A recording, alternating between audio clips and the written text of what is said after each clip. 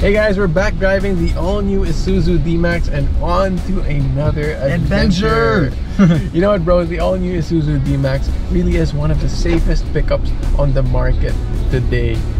We've been driving this for some time now, Mm. and if you notice, it warns you whenever you change lanes or if you're about to hit something. No wonder it got the 5-star rating from ASEAN NCAP. That is very true. I noticed that too. A first of its kind for the Smart Dual Cam, which is really cool. And I guess it's called Smart because it can detect things from both sides, all sides, similar to how we can use our peripheral vision. So that's really cool.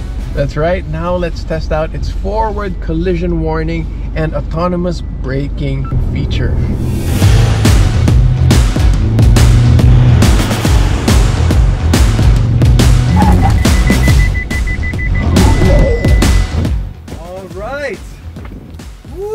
Woo! There we go.